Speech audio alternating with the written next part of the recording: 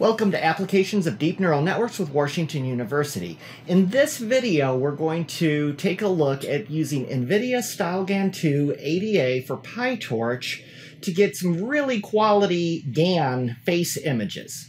Now, previously we saw that we could use our own technology, our own custom-built neural network to generate GANs, but the faces didn't look particularly good. It takes a lot of compute power and a lot of clever algorithms to really get high quality faces like you see with StyleGAN. So we're going to look at StyleGAN 2 ADA PyTorch, which is really the latest technology in this area.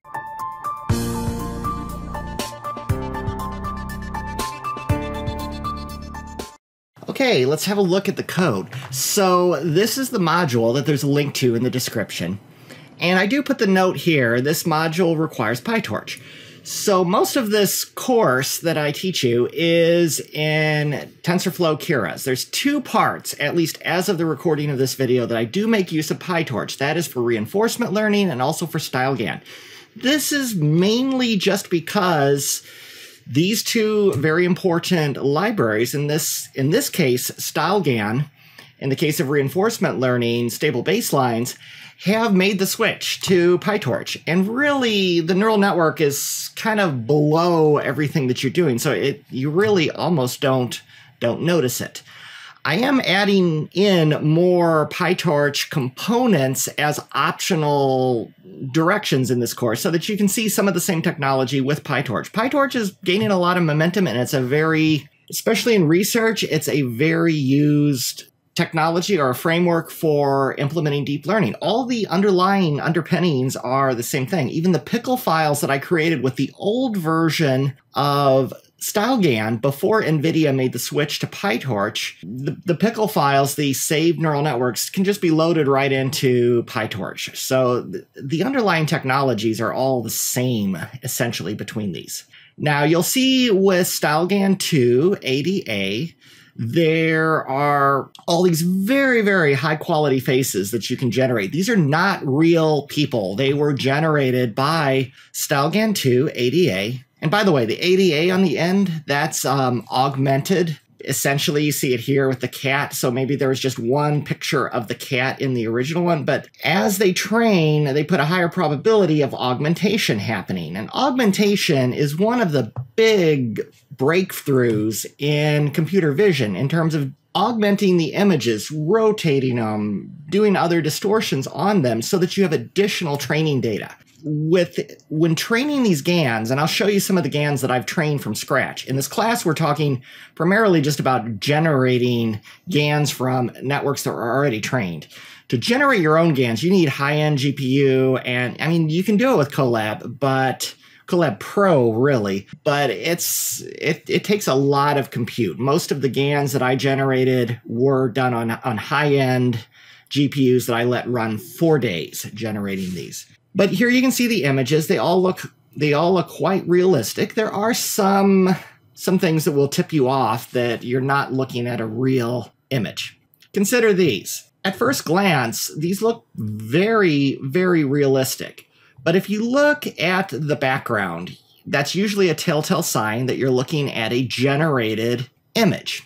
The background is kind of whimsical, kind of mysterious. You're not quite sure what you're what you're looking at. Also, things that are not the face will not look as, as good like earrings. It has a hard time with earrings. Notice her earrings.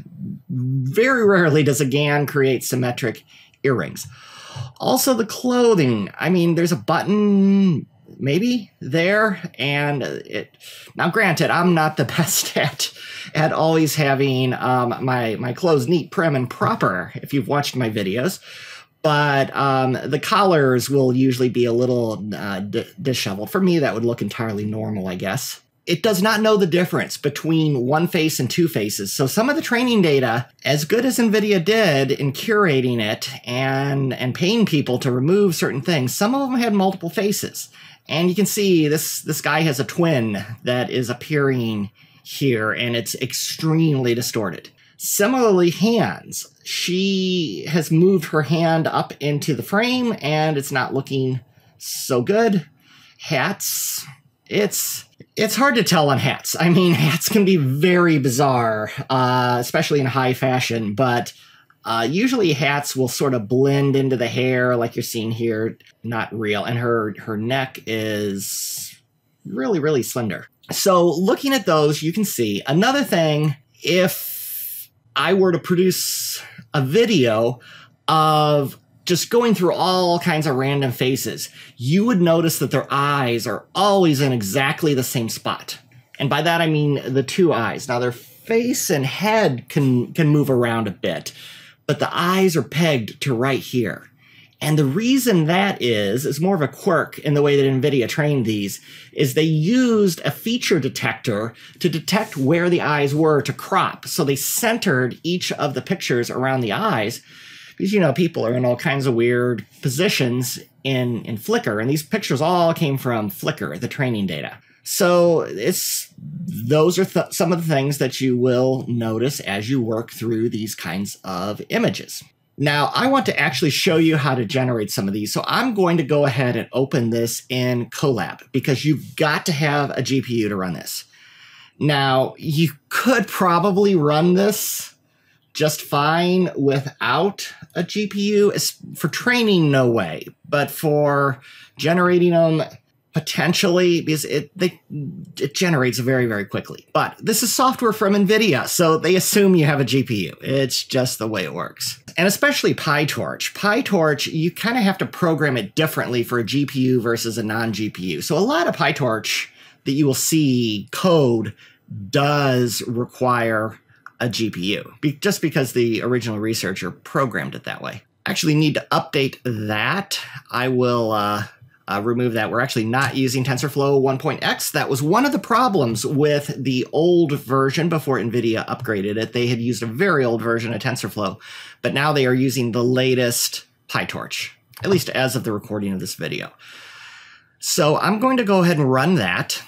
And I do trust myself. I created this, this notebook anyway, and I'm going to do this so that I do have access to my G drive.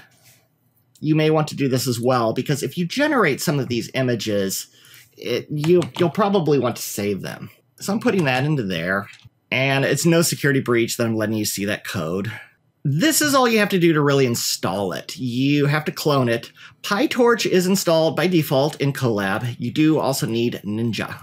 Ninja's an add-in for PyTorch that this that NVIDIA made use of for this. Now, if you look at that, if you look at StyleGAN 2 ADA PyTorch, you'll see the latest version here. We just cloned it right into our content on Colab is where you store all of your content. That's temporary. This gets blown away as soon as you exit Colab. So be aware of that. That's why we have to get it back each time. Now I'm going to generate some images.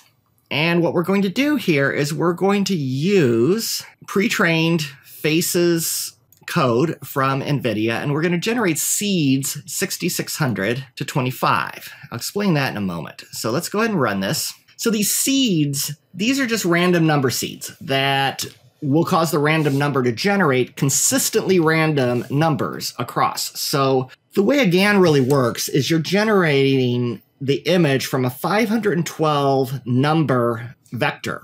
And that 512 number vector is giving you is each of those each of those numbers generates part of the of the image. So if you change one of them just slightly, it's going to change the image ever so slightly. That is how you do these kind of transitional images and videos videos actually that you are watching here as I as I go through this this part. I'm going to show you how to create that a video just like that of your of your own. Now this takes a moment for this to install everything that's needed. There's two and now it's there's two uh, kernels that NVIDIA uses to make this go faster. Actually, since they have custom kernels, this would not work on a CPU. So I take I take that back. What I said previously, there you would have to recode those, those kernels, and that would not be fun. So here we have the images. They were generated.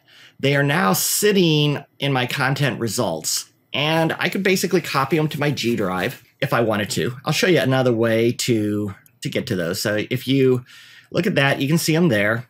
And now if we run this section, if you get this error here, you'll see basically that StyleGAN2, not a directory. That just means that you didn't create the, the folder on your G drive. I just corrected that. So if I run this, now they copy there. So if I go to my G drive, you'll see that I have a project StyleGAN2. Let me refresh it and you should see the, the images that it generated. There they all are. So you can click on these, download them individually. These are the images that StyleGAN generates. Now I'm going to run this code, which basically just sets up some code so that we can change those seeds into the actual vectors because we want to modify those 512 number of vectors to, to do some of the things that we're going to do here. This is just a quick function to display an image, and this is a function that I wrote that uses the NVIDIA code to actually generate an image. Now, some of the things that you'll that you'll that you'll see in here too is we're dealing also with labels. I'm not going to really get into into labels in this video. I could certainly do a video on that. Usually you have the GAN that you're using, and we're using all pre-trained GANs here, has to have been trained for labels. So, for example, say you trained your GAN on pictures of puppies and pictures of kitties, cats. If you don't put labels in there, it, will do quite good. It'll give you cats, it'll give you dogs, and it'll give you cats that look kind of like dogs, and vice versa. You can label them so that you're telling it what class it is, and then you can request when it's being generated that, to generate something more like a cat or like a dog. They have one actually in in the NVIDIA StyleGAN page that is trained for this, and it's generating very low resolution images from the from the CIFAR image set, if I remember right. Yeah, the CIFAR 10 one. If you've worked with this, these are 10. These are fairly low resolution 32 by 32 images that was used earlier in machine learning of 10 different types of, of, of image for the data set. So if you look at CIFAR, I forget what the 10 classes are for, for CIFAR. Airplanes, automobiles, birds, cats, deer, dogs. So this data set has these 10 classes all mixed in. And to get the best results, you created a labeled GAN and you can pick which of these that you want to generate. Otherwise, GANs are not too good without without that labeling of distinguishing between between different things. I'll show you an example of a very broadly trained GAN when we get to that in this lecture. You can pass in a truncation PSI. Varying that will change the quality that you're getting. You can also introduce noise. I keep it constant. If you introduce noise, you'll see the hair and other small things change. Small things. So it won't change into an entirely different person, but it will look almost like the hair is blowing in the wind if you generate a bunch, uh, if you set this to random instead of constant. And then the class index, I'm not really using that for this class, so I won't have that there. Let me run that. And then here you're going to pick which pre-trained one. I'm going to use the fish GAN. This is one of my own. I trained this I trained the GAN. I used Flickr and got a whole bunch of fish images. And this is basically just showing you how you will load a pre-trained GAN. It's just a pickle file. I actually trained this one on the old TensorFlow version, so it shows you how compatible these are. And I'm going to generate random fish from these seeds from 1000 to 1003. And there's three random fish. And you can see they look really pretty, pretty good. If you go through a bunch of different ones, some of them are definitely not as good as others. I mean, this one has an eye here and a very long mouth. This does not have an eye, and this one has an eye here, but an unusual sort of nose. But they look, they look really very, very fish-like. You can generate quite a bit more if you put additional seeds in there. And you can see some of these look really, they're really very nice fish you can see these fish really look pretty good. This one looks quite good, quite good here, and that's a bit abstract, as is that one. Now, you can vary the latent vector. The latent vector is that 512 number vector that we're generating that actually creates these. So I am basically going to, I'm going to use the FFHQ, so I'm going to use actual faces, and I'm going to run this code here that I wrote. What this is doing is loading the faces so that I, I can use. Now I'm going to transist between seeds 1000, 1003, and 1001. Let me go ahead and run this just so that it's going. And what this does is I'm using 100 steps to get between 1000, 1003, 1001. So these individual seeds, if you go from seed 1000 to 1001, it's going to be a completely different looking person. But if you take that big vector of 512 numbers that that seed generated, then you're going to get the more gradual results. And right now I'm generating for each of these people, I'm transisting from 1000 to person 1003 back to person 1001. And you can see it's it takes it a little while to generate this. This is generating just a whole bunch of frames as I go through and gradually just sort of skew from one vector to another. You can see I basically get my vector 1 and 2. I take the difference of the two vectors linear algebra style. I divide that difference by the number of steps, and that's the value that I keep using each time to to to be my step. So I'm adding that step vector, which is added to the original vector, slowly takes it to the to the second vector. And this is almost done. Let's go ahead and fast forward. All right, it's done with that. And then I use something called FFmpeg to convert all those frames back into a video. And now we can download the video. It prepares it. And I'm going to go ahead and open the video. And there you can see the transition. I'm basically transisting between those those key images that I picked, and you're able to see those those people transist in in real time. Now you can train your own GANs. These are some GANs that I train. There's the fish GAN. I trained one on Minecraft as well. Science fiction pictures. And then I wanted to try something really crazy. I took just a bunch of random Christmas holiday videos. I mean, there were lights, there were Christmas trees, there were Santa Clauses, all kinds of stuff. GANs don't do as well on that because there's nothing really to specialize on. So it it creates some really wild, sort of Christmassy, kind of nightmare before Christmassy images. And I give you links to all my free pre-trained GANs there if you want to generate any of your own Minecraft images or or other things.